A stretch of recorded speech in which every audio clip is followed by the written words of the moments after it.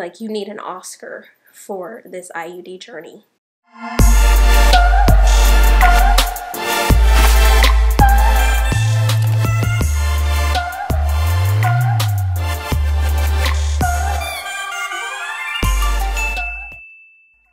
Hi guys, how are you? Welcome to my channel. If you're new, welcome. Thank you for joining me. Don't forget to hit the subscribe button down below as well as the little bell so you get a notification every time I post a new video. Yes, chilling in my tropical vibes, flamingos on fleek. I will be posting my Bali haul at some point, so you guys stay on the lookout for that video. I purchased this flamingo outfit in Bali and literally in love with it. It's so lightweight. I know it's not giving you guys fall vibes, but I mean, whatever. I'm on a different vibe than most of you guys, so okay. Anyways, so I'm here today to talk to you guys about something. We're about to get personal. I have actually not talked about this a lot on my channel. I talked about it one time, so I will link the video in the card section up above for you guys.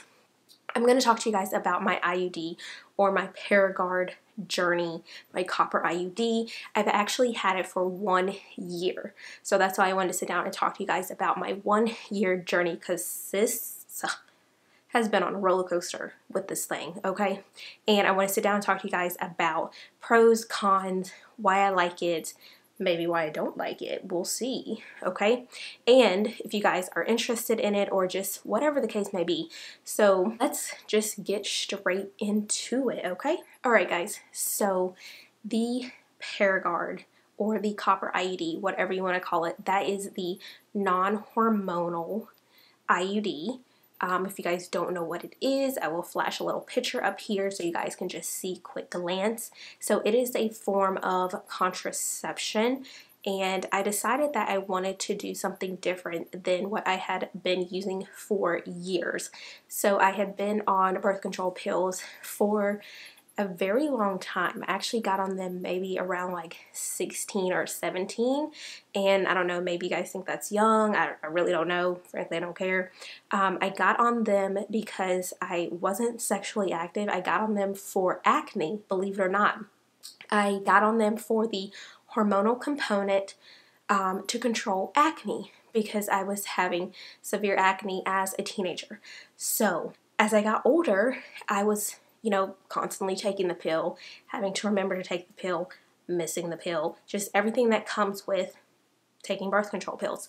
So last year I decided, okay, let me see my PCM, let me talk to her and tell her I want to do something different. I was reaching a place where I was wanting to transition away from the extra added hormones. I wanted to do something different. My acne felt like it was getting a little bit more under control and I wanted just to have something different where I was not having to always worry about remembering to take this little annoying pill, right? Can I get an amen?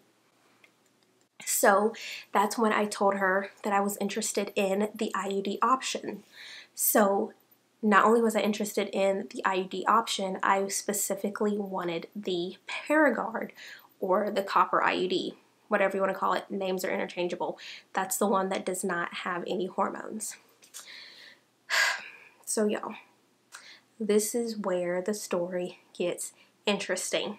So, after doing a lot of research, after talking to her and letting her know, yep, I want to pull the trigger, this is what I want to do, let's go ahead, then she put me a referral in for women's health. So I was ready. I was like, yes, let's do it. Let's go. So I went to Women's Health. I was ready like the day of my appointment. I thought I was getting it then. So, come to find out, the first time I went to Women's Health, I had not taken the pregnancy test that you have to take before you get the Paragard so you can make sure that you're not pregnant before you get it, right? Of course. Um, so, that wasn't ordered ahead of time. So, therefore, I didn't get it that day. So, that was a mix up from the provider. So, I was already ready to go, didn't get it. So then I go back the next week for my next appointment, and this is when I'm getting it. So just to give you guys just a little brief story on like that experience. We'll go into that first. So I had Googled online, people were saying, yeah, like take medicine before you go. It's super painful. Or some people are like, oh yeah, I never felt anything. I was like, okay, sure. Um, I have a high pain tolerance. Maybe I'll be good. but I did take Aleve 30 minutes prior, and I was also on my cycle before I went, which people were saying that would actually be a good thing because your cervix is going to be softer and it's going to be, you know, easier for placement of the Paragard and all this kind of stuff. And so when I went in there and I saw my provider, who was a female, thankfully, I was like, so I just want to let you know I am on my period. She was like, oh, yeah, great. We actually like that. So I felt better about that. And we got started, you know, with the insertion process.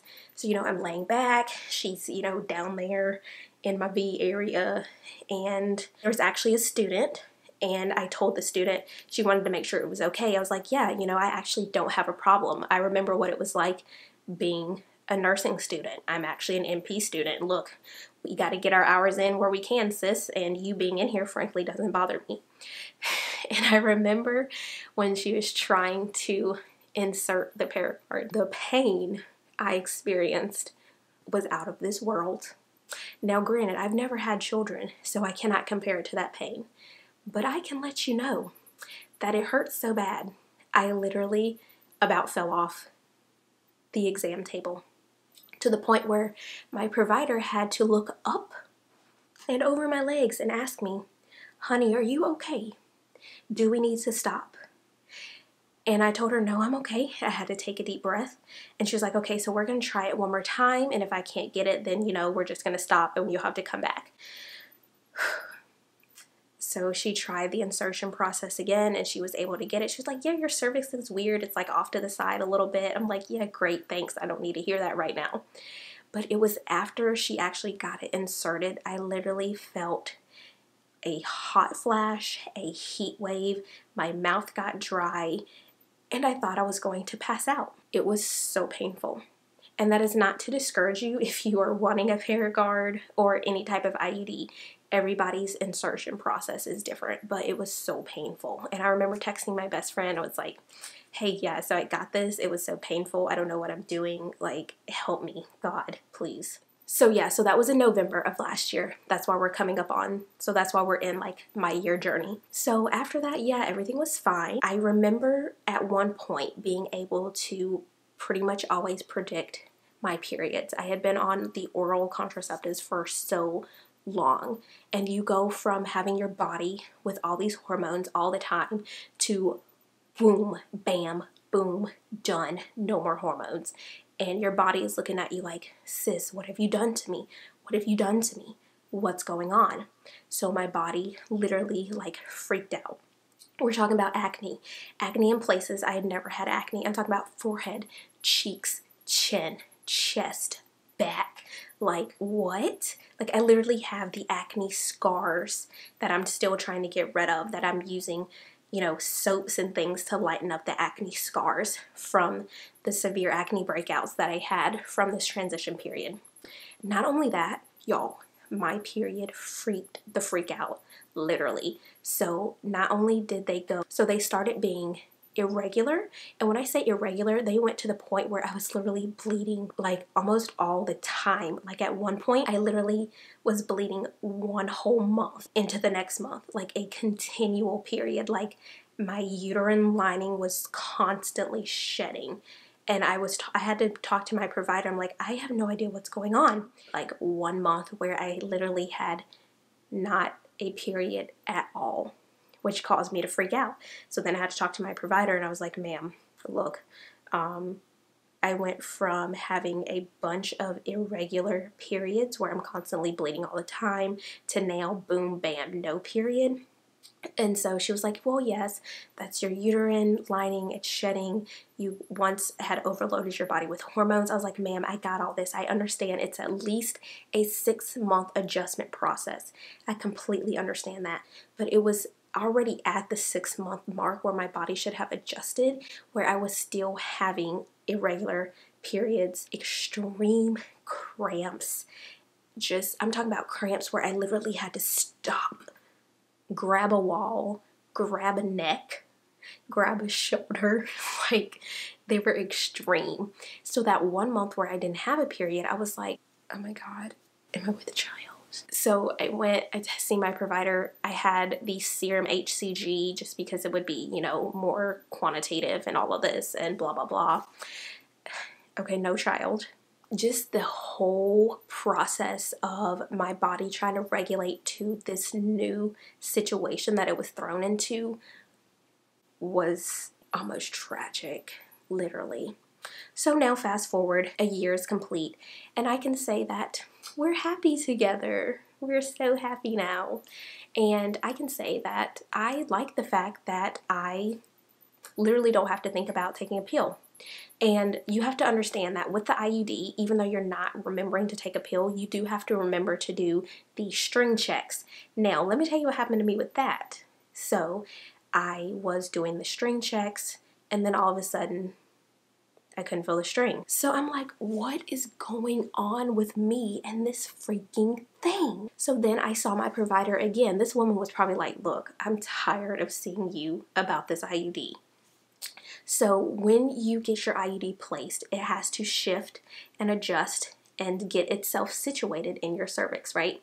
So after mine had shifted and adjusted, and I was doing my string checks, it was still feeling like a little bit uncomfortable. So the strings are kind of hard a little bit at first until they kind of soften up a little bit. So my provider actually cut my strings when I had them inserted. And then after it shifted and adjusted, I was still able to fill them a little bit, so they were still a little bit too long. So at one of my appointments, she cut them again, but doing its shifting and adjustment process, that actually caused me to then no longer be able to feel my strings. So then, during that process where I was freaking out because I had no period, I then had to have not only a ultrasound but a transvaginal ultrasound. So you talking about just people exploring me down in the V section, just super uncomfortable. So they had to make sure that the IUD was in place because they couldn't feel the string. So then they were checking to make sure that I also wasn't pregnant, and then just so much stuff. So you guys are probably listening like, sis, your journey has been like you need an Oscar for this IUD journey. So now because my IUD is successfully in place. It has been verified by various ultrasounds and manual palpation basically. I am no longer able to do a physical string check because I will not be able to feel my strings. So now in order for me to have my strings checked, I have to actually physically go to my provider. So that kind of makes it a little awkward and a little bit different for me as far as my IUD experience. Um, and that could be the same for others out there. If you're watching, you can let me know in the comment section. So that's the only thing I have to keep in mind that I'm no longer able to do a self string check. But if you have an IUD or you're thinking about getting one, you do need to be doing a self string check. I would say honestly, the benefits I enjoy not having to think about the pill. I enjoy being on something that's non hormonal and having no extra added hormones in my body. I enjoy the fact that this is something that can be placed and basically forgotten about, honestly, and it can last the copper version, at least the Paragard, for up to 10 years without having to be removed unless you're wanting to start a family, of course. But other than that, my whole year journey has been highs and lows, but we've kind of gotten to where we're settled and we're on a straight path and we're good. Has it changed my periods? Yes. They are a little bit longer and heavier, but that's what the non hormonal version of the IUD will do. It will make your periods heavier, it will make your cramps a little bit worse. Um, now, you can get the Mirena and the other versions that have hormones in them, and they will actually um, shorten your periods. And some women have even not had periods at all. So it just depends on which IUD version you want to get as to you know what effects you're looking for and what it will do to your body and to your periods. So yeah, I just wanted to share this very interesting journey with you guys that I have not talked about um, honestly at all except for one time on my channel. And I think it's very important for women to talk about contraceptive options. You guys know there's a lot of options out there and you need to choose what is best for you. And don't be afraid to talk to your provider about contraceptive options. You need to be making smart choices for yourself. And that's basically what I want to talk to you guys about. So I hope you guys have enjoyed this video. Give me your thoughts and comments down below in the comment section. Don't forget to subscribe to my channel on your way out. And as always, I will see you guys in my next video. Bye guys.